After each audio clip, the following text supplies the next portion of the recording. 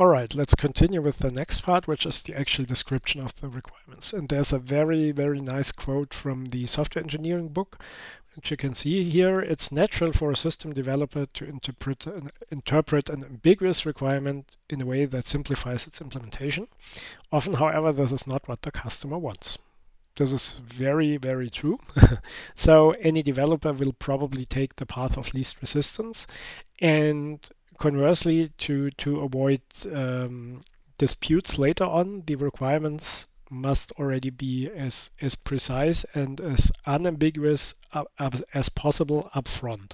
So we must be very clear about what the system should actually do.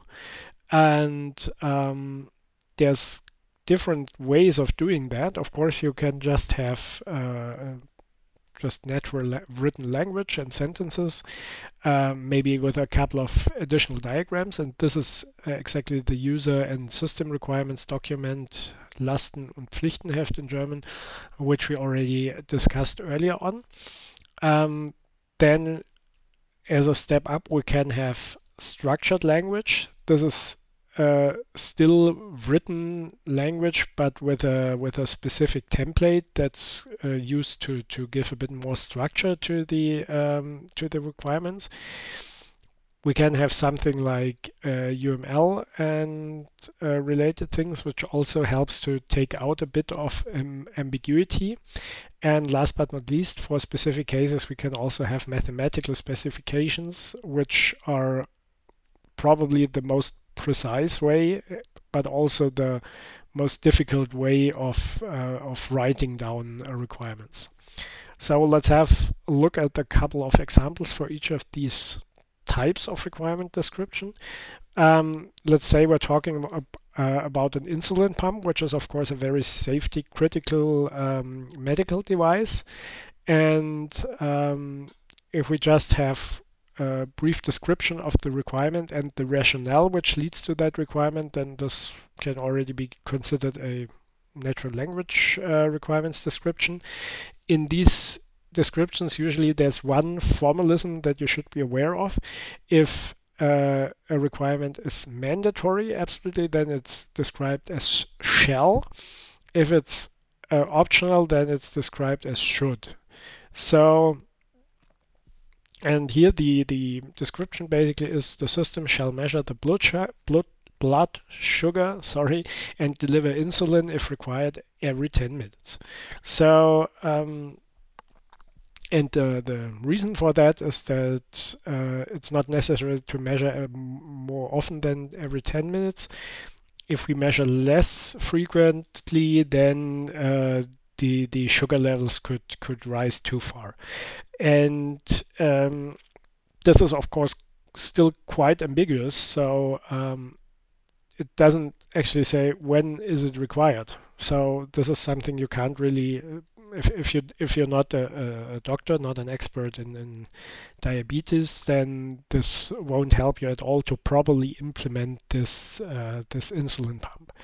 Um, for that reason, it will already help a lot to have this so-called structured language uh, requirements description. Here we have a list of attributes and a description for each attributes. And the attributes are the core function of uh, this requirement. So to compute the insulin dose, then uh, close a description of the function especially the inputs, the source of the inputs, the outputs, and the destination of the outputs. So here the inputs are the current and the two previous readings of the blood sugar level. The source is a, a sensor. Um, the output is the actual um, compute, computed dose, and the destination of that is the control loop.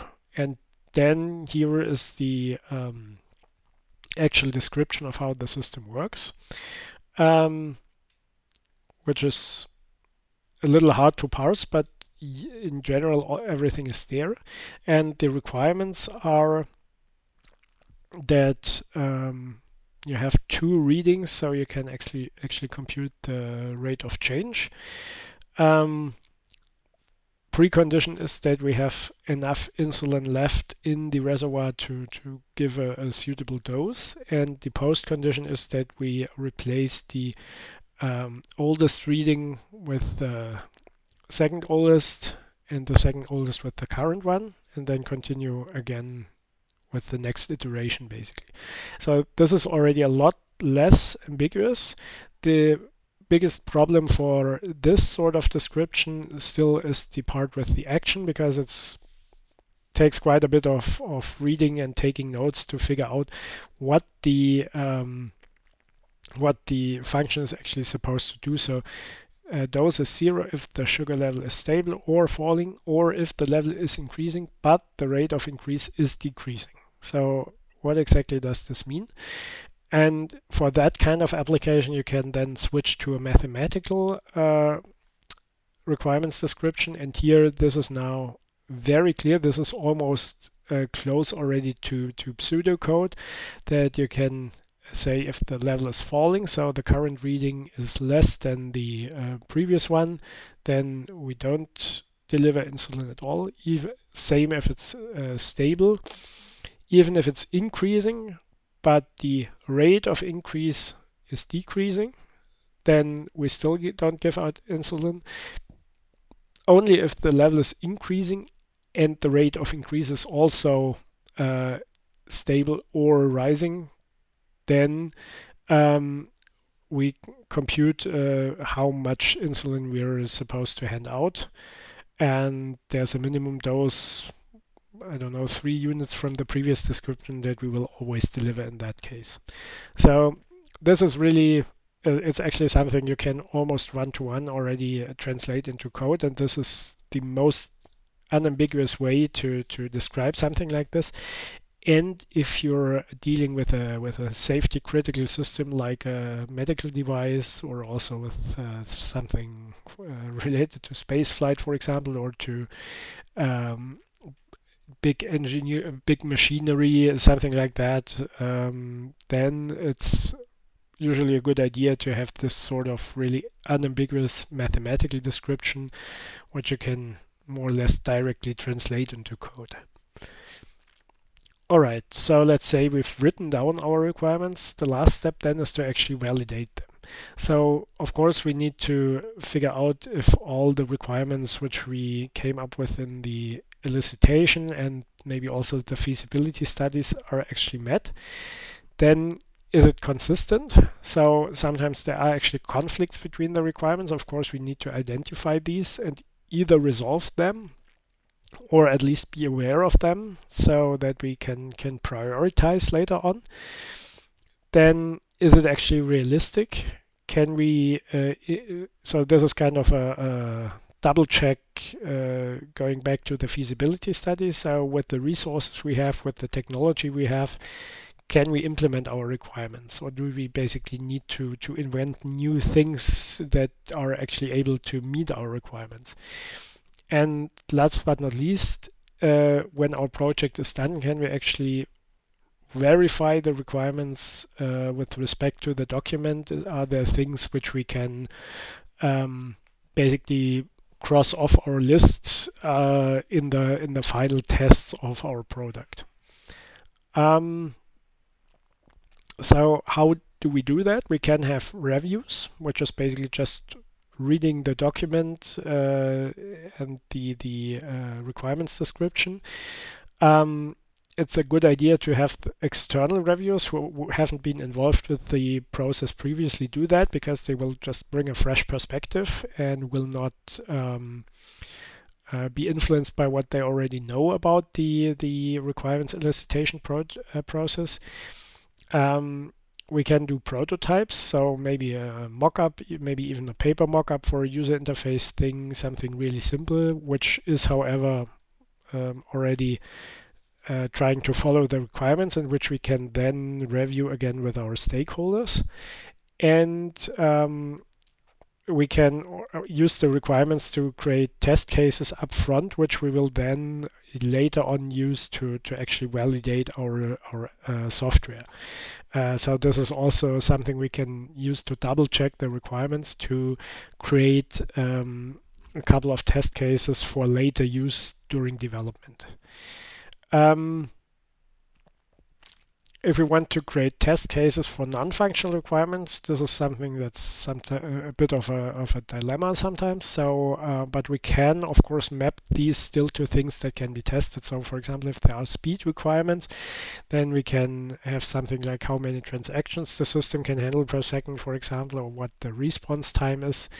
Uh, ease of use is really difficult to measure. So, um, something like how much training people usually need to, to use the system or maybe even how large the manual is can relate to how easy to use a specific piece of, of software is, for example, then reliability can be mapped to how long it actually can, can run at a time, how how much time is there between individual uh, individual failures, um, and last but not least, robustness can, for example, be related to after failure has occurred, how long does it take to, to be back on online?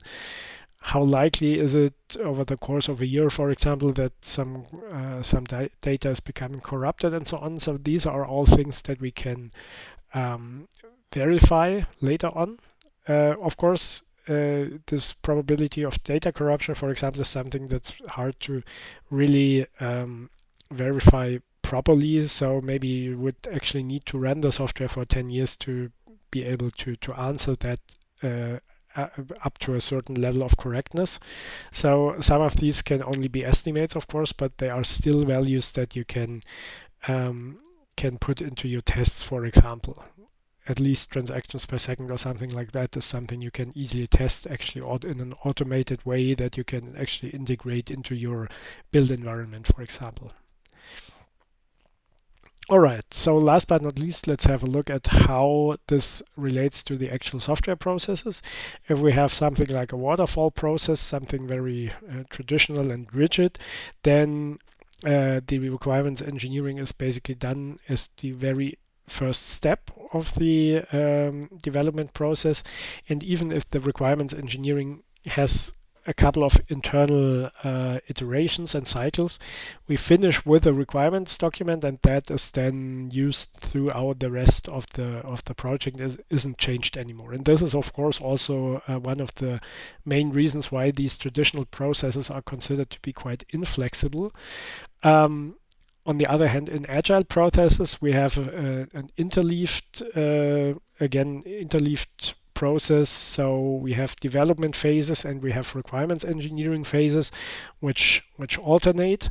Um, even in an agile process, however, we will probably do at least a very short feasibility analysis as the very first step um, to see if it would actually make sense to to start with with the project at all. And um, of course, you can also have a, a hybrid approach, so where you have a re requirements engineering phase uh, alternating with the prototyping phase.